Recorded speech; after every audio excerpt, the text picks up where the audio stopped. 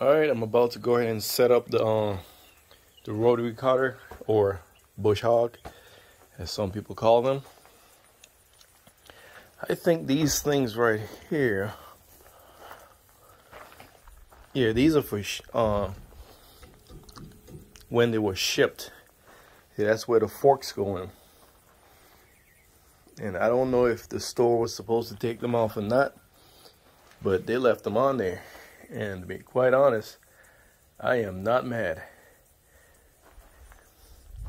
Because I could use this metal for something else. But in any event, I'm about to pull out the... Uh, I'm about to pull out the instructions and follow them to the T as far as getting this thing set up, getting the oil in it.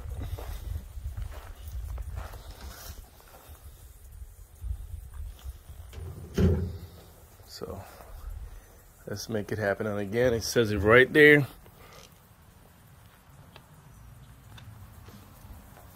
Because apparently a lot of people been sitting, well, been running these things with uh, with no oil in them. I just pulled the instructions out of the little uh, capsule thing and they, it is soaking wet.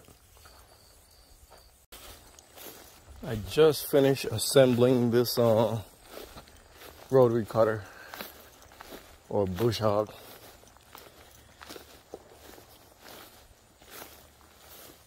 Just according to the instructions, according to the manual. I like reading instructions. So everything is, all the bolts are cinched up. The gearbox is filled with the appropriate uh, weight oil. Uh, that's greased. That's greased. see grease popping out the top right there.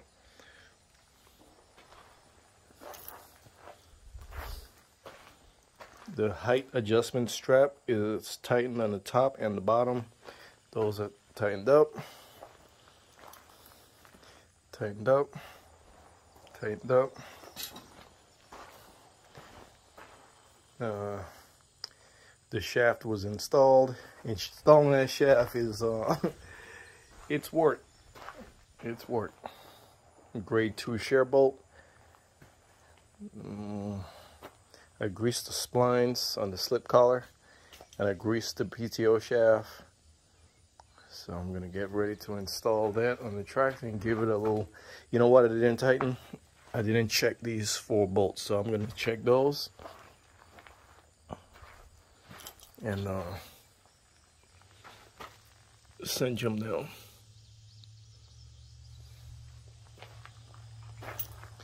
And that's where I'm to cut once I get them going, once I get it hooked up. We have these little pins. We have one over there, two, three, four. We have four of these So you can see they're properly overgrown. So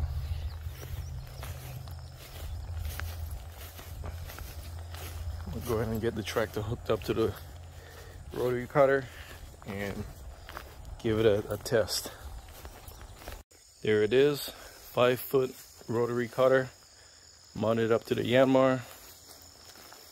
Hooking up the three point hitch actually isn't that difficult, uh, even with something as heavy as this. Because once you get one of the arms on, it's pretty uh, easy after that. Since the PTO shaft. Um, both the drive shaft for the cutter and the output shaft on the transaxle are brand new. They basically never been on anything. It was really, really tight getting on there. Once I run it a little bit, that should loosen up. Everything on here is greased. And all the bolts are tightened. Uh, Oil is in the gear case. Uh, of course, I did my pre-checks before I even fired up the Yanmar.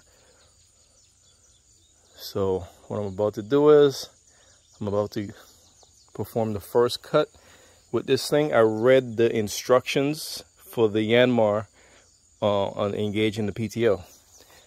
I've seen videos all over YouTube of people running the RPMs all the way up to the operational speed, which is what? Uh, all the way up there. It's like 500 and something RPMs for the back. And uh, I think it's 2,000 RPMs for the uh, the belly PTO. And then they pull the knob, engages engage the PTO. According to the manual, that's incorrect. According to the manual, you bring the RPMs just off idle up to 1,500 RPMs. Once you get the engine up to 1,500 RPMs, then you engage the PTO. Once the blades or, or whatever it's gets up to speed, then you ramp the RPMs up to the speed on uh, the manual. And I'm trying to uh, remember exactly what the manual say. Once you get the the blades turning on times, whatever you uh, implement you're running from the PTO, once those get going, then you ramp up the engine RPM to a speed that's sufficient for whatever you're doing or whatever what the uh, the equipment requires. So it's the same thing with the loader. The RPM that is sufficient for the operation of the equipment. Uh, again, you don't ramp the RPMs all the way up, then engage the PTO. According to the manual, that's a severe shock to the transaxle. You 1500 RPMs, engage. Once everything gets up to speed, then you ramp it, ramp it up. And that is according to the Yanmar manual.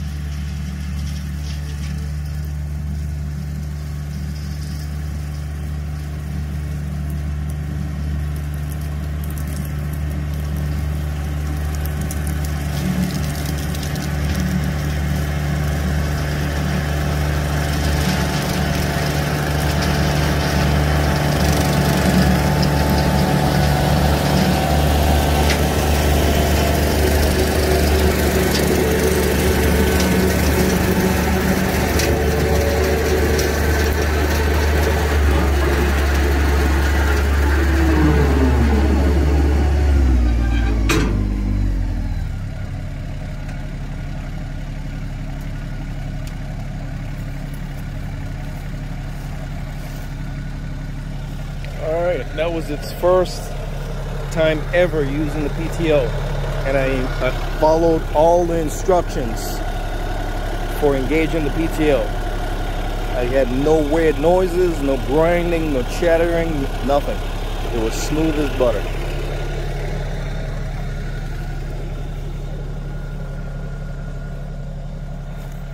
That's not bad at all. This stuff is tall. I mean, it's taller than me. it, it's tall. And I just came in. What is that? Is that a turtle? There's something under here. Okay, so stump. I mean, that thing cut it down nice. Look at that.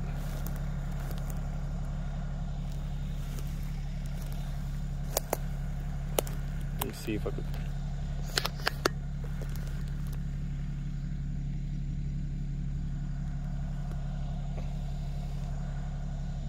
That did a really, really good job. On the other side, and that one is going to be the test. See, it's one over there, the one way in, and two more pins down there. It goes all the way back to the fence, right back there. All right, I think that's uh, a good enough video for the purchase, setup, and first use of the uh, the CountyLine rotary cutter, five foot, and just to show you what the the track look like. That's the width. See, it's sticking out. That's a few inches, what two, three inches, if that. A four footer would have worked also, but I think the five foot is just right. Just right. I think the six would be probably too much for this uh, tractor.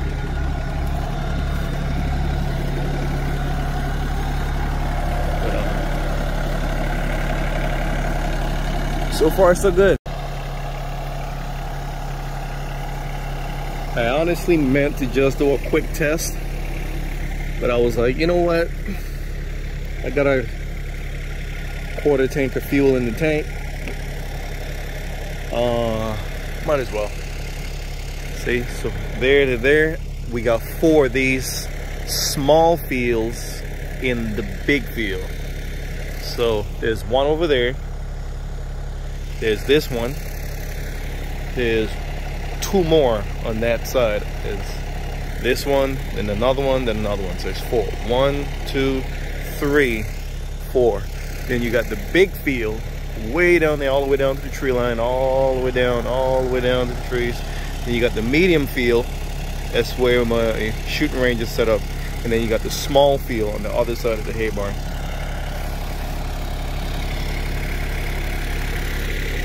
This it worked really good.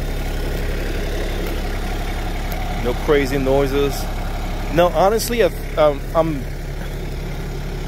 I'm hearing something, but it doesn't sound like there's something wrong with it. It just sounds like it's operating. So, see all these things unplugged. I'm missing a green one. I'm gonna figure something else out, out with that.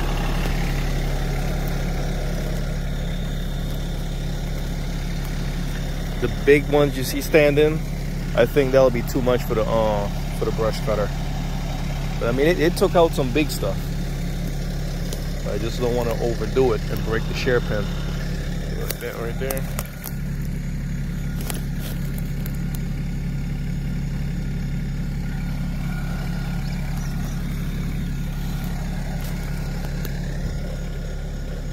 I'm impressed.